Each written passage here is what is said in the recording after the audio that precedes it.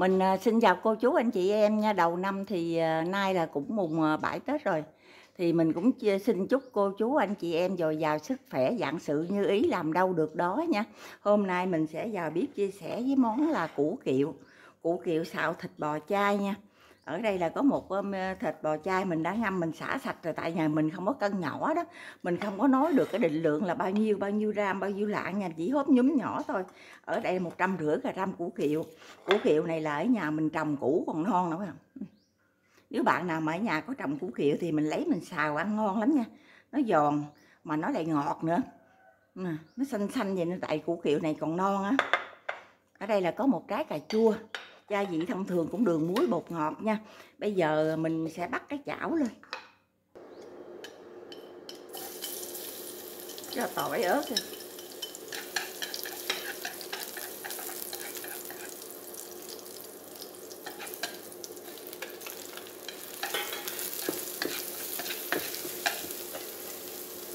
cho vào xí tiêu.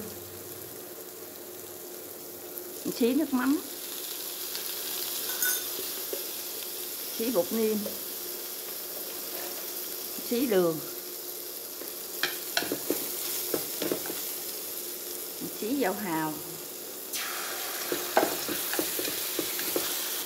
Bây giờ xí nước.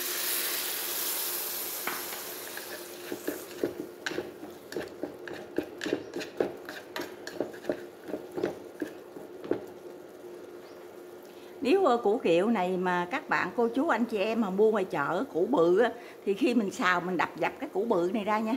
Mình đập cho mình đập cho nó dập dập á mình xào. Còn cái này ở nhà mình trồng lên củ nó còn non lắm. Nên mình à, muốn chia sẻ những bạn nào cô chú nào anh em mà ở dưới quê mà có trồng kiệu á, thì khi muốn ăn mình lấy kiệu nhỏ nhỏ gì ra mình ăn nào nên mình mới chia sẻ như vậy nha.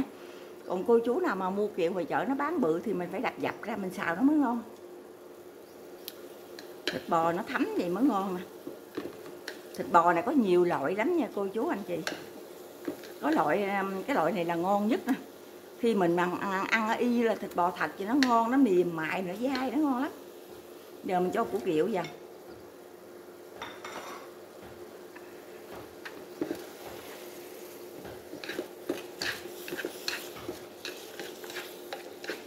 Món ăn đơn giản dễ làm mà lại ngon miệng. Củ kiệu này nếu mà mình mua ngoài chợ cũng hiếm lắm nha ở dưới nhà quê đồ giặt của mình, những chỗ mà trồng rồi mới có củ kiệu non vậy ăn thôi. Còn xứ mình trảng bàn, tây ninh nó có bán củ kiệu này nha. Nó bán củ kiệu tươi này bó là bán nhưng mà củ to. Củ to khi xào là phải đập dập rồi nó mới ngon. Còn này củ nó giòn giòn, nó vừa ăn như củ hành nha. Cái này là kiệu nha, các bạn, không phải là hành nha. Tiếp tục mình cho cà vào nó có vị chua chua, nó ngon nhưng mà đặc biệt xào cái này cô chú anh chị em các bạn đừng có cho hành lá vào nha. Chỉ khi phi tỏi cho nó thơm bỏ kiệu vô xào. Khi mà mình xào thành phẩm rồi đừng có cho hành lá vô nó sẽ không ngon. Nó mất đi cái mùi kiệu. Bây giờ mình xào chín rồi mình cho chút xíu um, mè nha.